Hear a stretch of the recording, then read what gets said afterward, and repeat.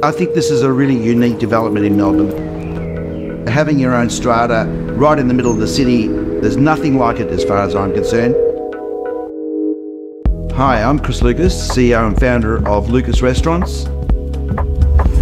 Hi, I'm Sean Wellman and I'm a mortgage broker and I run my own business called Wellman Finance. What initially attracted me was the location.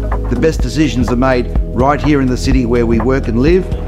It's close to my clients and other businesses that I associate with and a great development which is really rare in Melbourne. I love the design, I love the way Golden Age have gone about the development.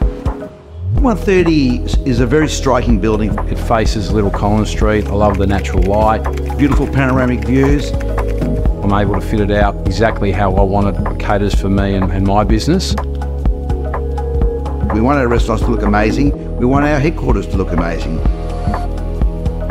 It's going to get harder and harder and harder to find this sort of high-end quality office space in the centre of Melbourne. I wanted to purchase rather than lease. I know this part of the city is in high demand. I thought it was a perfect uh, investment opportunity.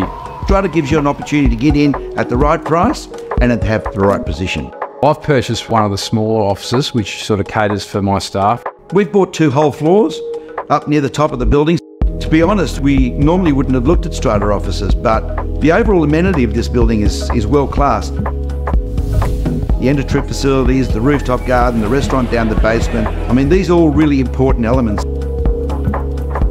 I did some research, heard nothing but positive feedback about Golden Age. With Golden Age, you know you've got someone that you can trust. Uh, I couldn't have asked for a better experience. And uh, I mean, I'm really excited to be moving in. We couldn't be happier, to be honest.